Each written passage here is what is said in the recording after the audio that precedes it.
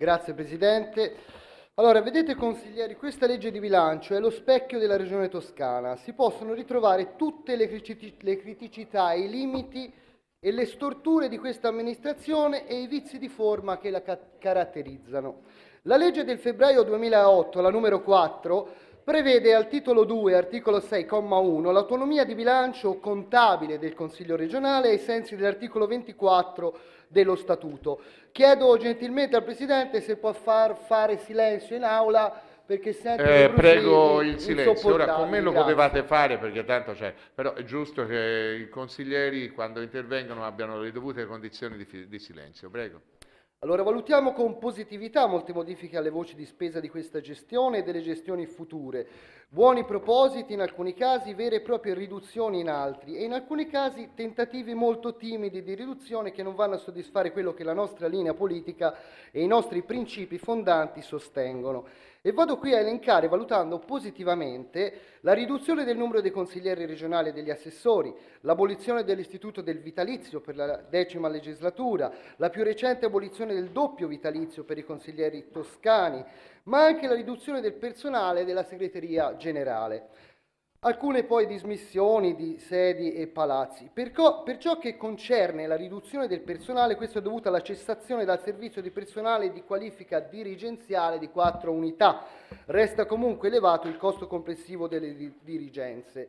Eh, a tal riguardo spenderei di più, come enunciato alla missione 1, programma 1, qualificazione della funzione legislativa, nel lavoro che va nel senso della massima trasparenza e comprensibilità dell'architettura dell'architettura legislativa, al fine di rendere il processo legislativo più chiaro e diretto, ma che soprattutto vada a eliminare questa distorsione tutta italiana della interpretabilità delle leggi.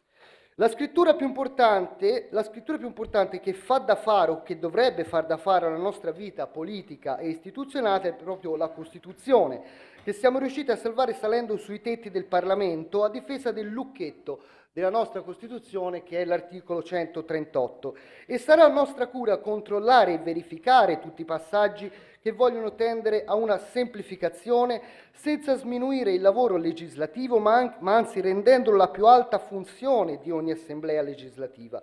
La nostra Costituzione, la legge, eh, e, la si comprende, cioè la comprende anche un bambino ed è quello che tutte le leggi dovrebbero essere. L'arte più elevata e più proficua è infatti quella della semplicità. Infatti, anche dalla breve esperienza che ho in consiglio, vedo che le leggi meno comprensibili sono quelle che sono state ritoccate più e più volte ed è in quegli atti complessi che si nasconde spesso il raggiro e il malaffare. Non dimentichiamo che solo la bontà e la solidità dello scheletro del diritto danno vita a un corpo legislativo esecutivo sano. Per ciò che riguarda l'abolizione dei vitalizi, e qui si parla dell'applicazione dell'articolo 11 e 27 bis della legge 3 2009, che ha di fatto tagliato l'istituto del vitalizio della regione toscana a partire da questa legislatura e noi ne siamo ben felici, ma si può fare di più, come ho sottolineato in un precedente intervento. Noi siamo per l'eliminazione retroattiva di tutti i vitalizi.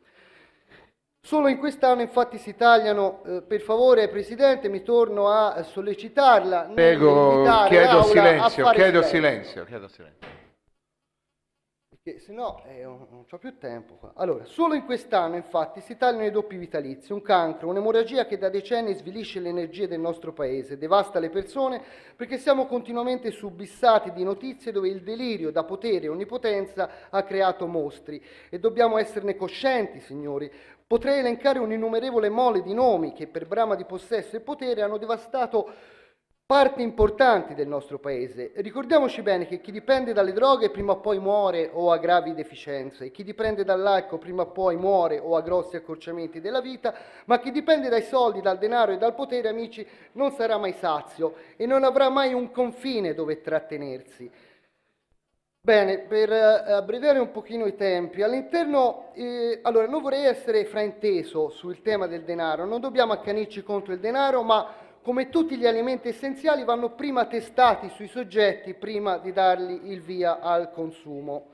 All'interno di tutta questa rivisitazione di bilancio all'interno di molte positività, ecco che sono andato a vedere i costi che eh, sono stati impiegati per la festa della Toscana e in questo caso potevamo fare meglio. E allora, eh, per cortesia, silenzio. Per favore.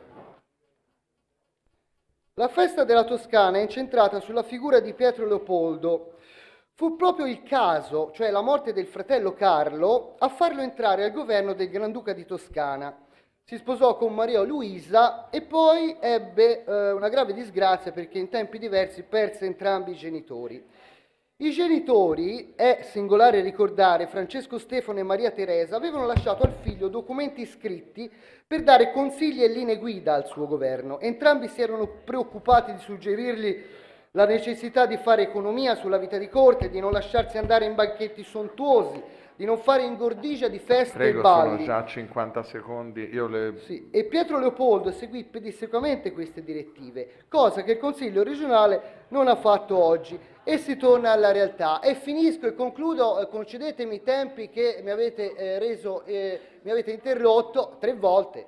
Signori, un po' di rispetto, solo il rispetto. Concludo meno di un minuto. Allora, si sono spesi 350.000 euro, sono tanti, sono pochi, a noi sembrano molti, quindi in controtendenza con i precetti di Leopoldo. Una delle date più importanti è il 30 novembre, dove lui abolì la pena di morte, cioè ci sono tutti degli eventi legati alla vita di Leopoldo che sarebbero dovuti essere ripresi in tutte le manifestazioni e feste finanziate dal Consiglio regionale nei vari territori. Qui si assiste purtroppo a una distribuzione eh, anche per il singolo progetto, cioè guardandolo in modo anche superficiale, viene allora la distribuzione del denaro in circoli territoriali legati alla politica. Sembra che ciascun consigliere abbia dato un contentino al proprio territorio, ma io vi voglio leggere due esempi solamente. Guardi, è già allora, due minuti oltre sta... il tempo, lo finisco, sa che noi finisco. non possiamo. Allora, mi faccia la nota, ma, me la manda e già due minuti nota. oltre il tempo. È veramente vergognoso, 3.000 euro, 2.000 euro, qui ci sono